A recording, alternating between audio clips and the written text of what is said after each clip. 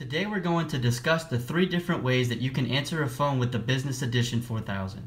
As you can see I have an 8800 series phone in front of me, but these three methods will work similarly for all supported phones. So the first method that I want to discuss is the blinking amber light that will appear when the phone is called. So let me dial the extension.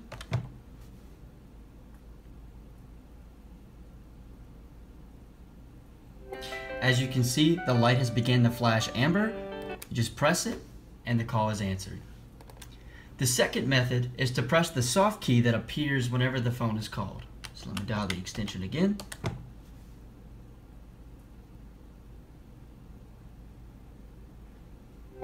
As you can see, the soft key appears and you just answer. The call is answered. The third method is just to pick up the actual handset itself. So let me dial the extension one more time.